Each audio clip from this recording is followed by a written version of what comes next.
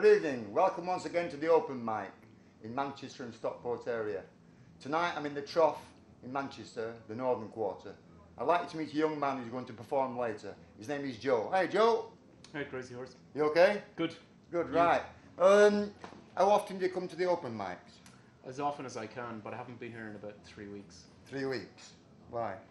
I was on holidays. Oh right, I thought you went somewhere else. No. Okay. Um, what's your musical background?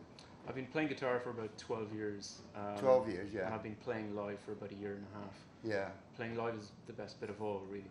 What, as a single act or with a band? On my own. On your own? Yeah. Yeah. Where are you from? Where are you from? I'm from Ireland, the west of Ireland. The west of Ireland. I've worked in both parts, northern and south. Um, so you come to the open mics, and how do you find the audiences?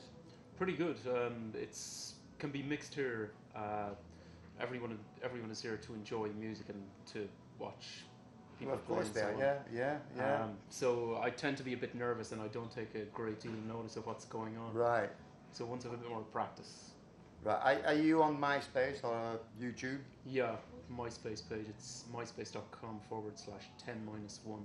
Ten minus one. All words. All words. Fine. Yeah. Well, that's recording now. Um, and you write your own songs. Yeah, Yeah. You find them easy sometimes or hard? it's easy. If I don't think too much about the words, it's easy. It comes easy. If I Comes think easy. too much, it doesn't. Yeah, yeah, same as me. Right, so you're going to perform one of your songs in a few Yeah. minutes, yeah? Yeah. Brilliant. Well, thanks for the interview. Thanks, Grace. All the best. Cheers.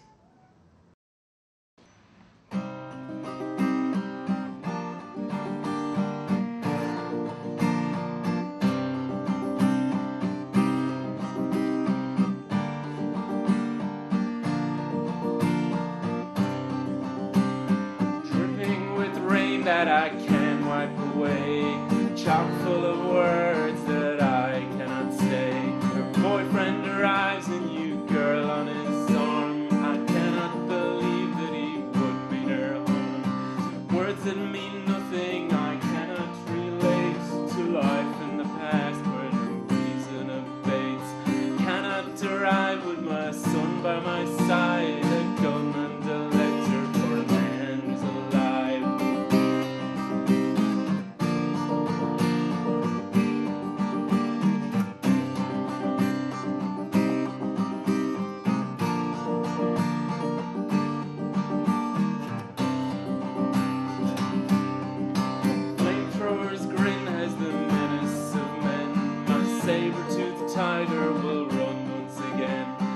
gap in the plan is 19 holes wide. Helpful young boy with an arm like a side. Words that mean something I cannot conceive of life beyond with no means to believe.